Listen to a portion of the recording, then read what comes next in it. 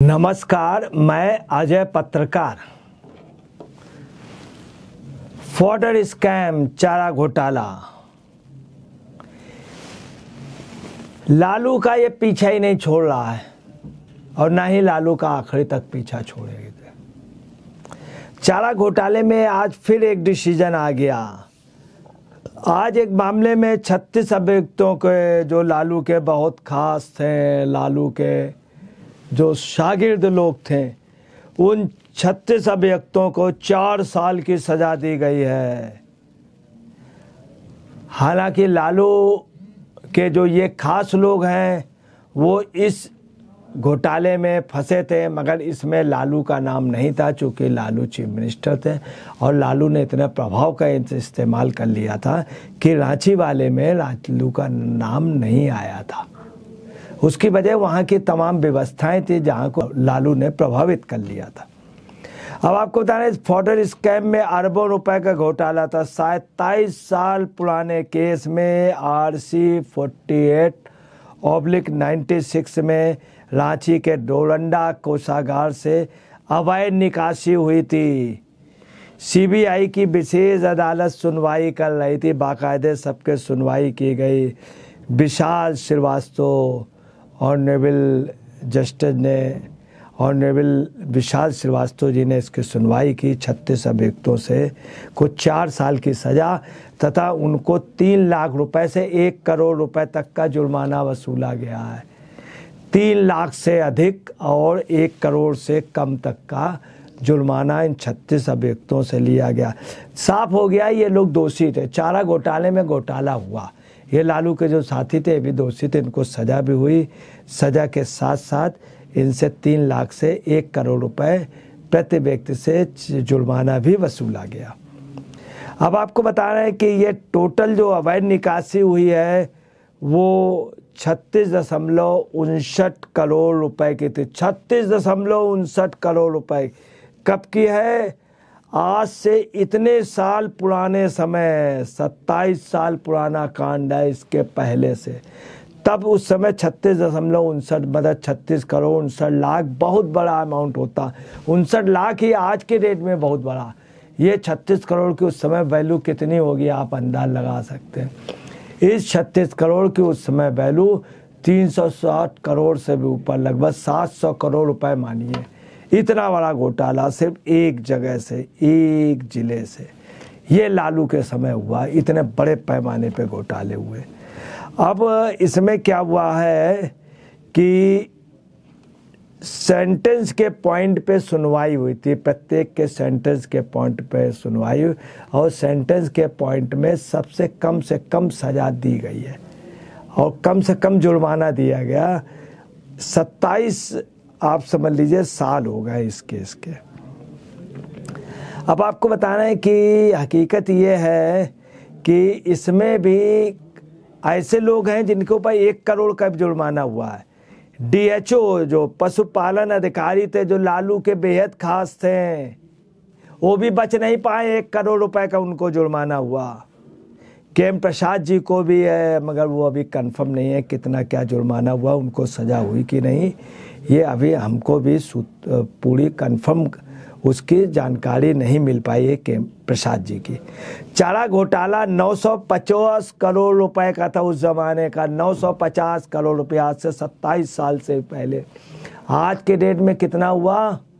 आप समझ लीजिए कि लगभग हुआ बीस हज़ार करोड़ रुपए का घोटाला।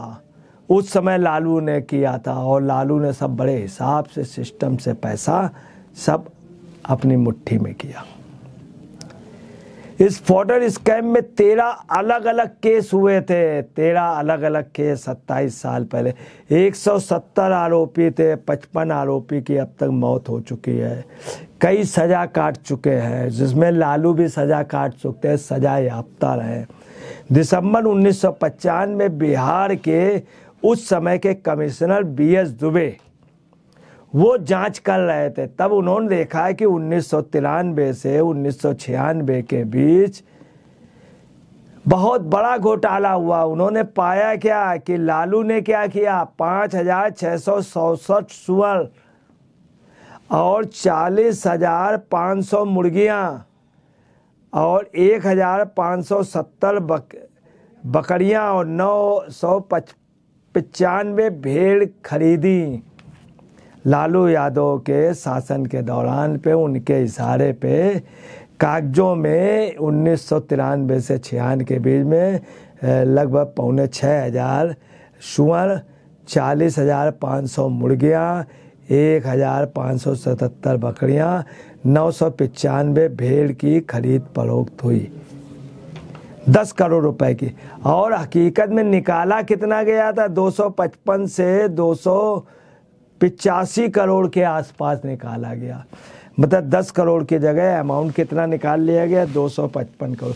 अब आप समझ लें, लालू को सोनों की क्या ज़रूरत थी? सुवर्ण से इनकी क्या वो था कि सुवर्ण खरीदे गए? खैर, जो भी हो, मगर आपको बताना, ये इतना बड़ा घोटाला था। 410 करोड़ रुपए उस समय एक अंदाज़ा लगता है कि इतना लगभग निकाला गया था 410 करोड़। लालू के ऊपर पाँच केस चल रहे हैं, पाँच केस। और पाँच केस में बत्तीस दशमलव पाँच मतलब साढ़े बत्तीस साल की इनको उम्र कैद है। और ये एक करोड़ पचपन लाख रुपया जुर्माना भी भर चुके हैं। ये रही लालू की स्थिति। अब आप समझ ले कितने बड़े लेवल का है कि लालू कितनी बड़ी मतलब वो है, सिस्टम है कि इन्होंने इतना बड़ा घोटाला कर लिया और ये बाकायदे सेप रहे। इस मामले में सत्रह गवाह दर्ज किए गए थे। पचास हज़ार से ज़्यादा डॉक्यूमेंट्स और एविडेंस पेश किए गए थे। उन्नीस से चल रहे चारा घोटाले मामले में 28 अगस्त को कोर्ट ने फैसला सुनाते हुए 35 लोगों को बड़ी भी किया था। जबकि तेवन अभियुक्तों को तीन साल की सजा सुनाई थी। तीन साल से कम सजा के कारण निचली अदालत से उन्हें जमानत मिल गई थी। अब वे हाई कोर्ट में अपील करेंगे। शुक्रवार को जिन 26 अभियुक्तों की सुनवाई गई, सुनाई गई है, उनमें Nityanand Kumar Singh, doctor Junul Bhograj ji, doctor Krishnamohan Prasad ji, doctor Radha Raman Sahe ji doctor Gauri Shankar Prasad ji, doctor Lavin Kumar Singh, इसके अलावा डॉक्टर फरेन कुमार सिंह, अशोक कुमार यादव, रामानंद यादव, तमाम बड़ी बड़ी शख्सियतें थीं।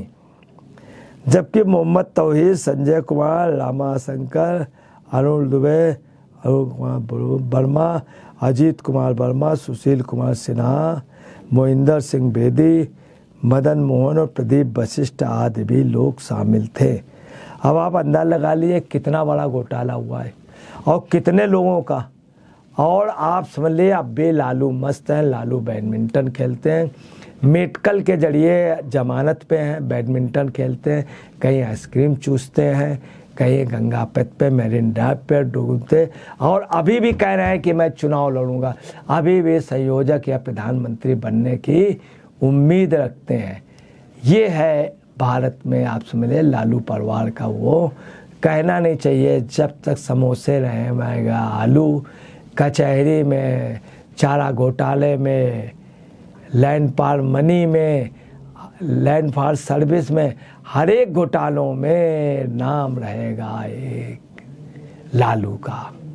और समोसे में हमेशा रहेगा, नाम रहेगा आलू का। नमस्कार, मैं अजय पत्रकार।